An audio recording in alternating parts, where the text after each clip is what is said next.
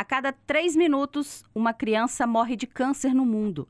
No Brasil, de acordo com o Instituto Nacional do Câncer, o INCA, são estimados cerca de 8.600 novos casos da doença por ano em menores de 19 anos.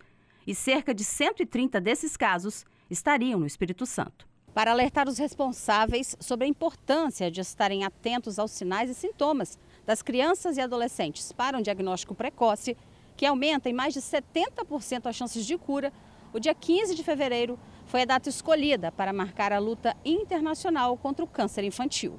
Glauce Perini é médica oncologista pediátrica do Hospital Estadual Infantil Nossa Senhora da Glória e esclareceu que a sobrevida das crianças que têm a doença depende de alguns fatores, entre eles o diagnóstico precoce. O diagnóstico naquelas fases iniciais da doença, quando os sintomas estão começando, nessa fase a, a possibilidade de cura é muito maior, né? E a, a possibilidade de sequelas tardias também é muito menor. A médica destacou que os tipos de câncer mais comuns entre as crianças e adolescentes são linfomas, com 14%, tumores no sistema central, 16%, e leucemia, 30%. Por isso, é preciso ficar atento aos sinais. A anemia é um, uma condição bastante frequente na pediatria, tá? E muito, maioria das vezes, né?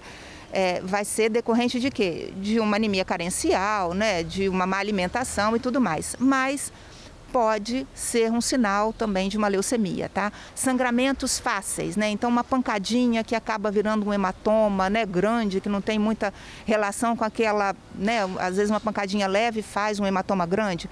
Sangramento nasal, sangramento de gengiva. Uh, febre, né, febre de origem indeterminada, então uma febre de mais de oito dias de duração que não se descobre a causa. Uh, então, assim, esses três são os principais sinais e sintomas de uma leucemia. A médica ressaltou que a sobrevida no Brasil e no Espírito Santo é positiva. A estimativa de sobrevida é de 64%. Isso é uma sobrevida dada pelo INCA, tá? No nosso hospital, a, a sobrevida né, da, das nossas crianças, no estudo que foi feito em 2012, a nossa sobrevida foi de 60%.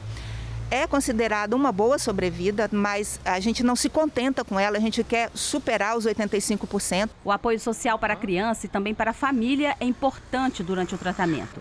Aqui na Associação Capixaba contra o Câncer Infantil, a CACE, famílias que não têm condições financeiras de se manter na cidade são acolhidas.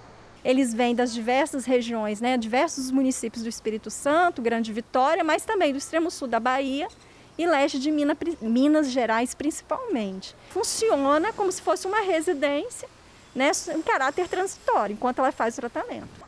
A assistente social explicou que a ACACE também desenvolve trabalhos de caráter educativo para o diagnóstico precoce do câncer infantil. A gente sempre procura estar tá sensibilizando né, a sociedade para a importância né, de você estar alerta aos sinais e sintomas do câncer infantil, né? Porque é só assim que a gente consegue garantir que essa criança vai ter sucesso, né, nesse tratamento.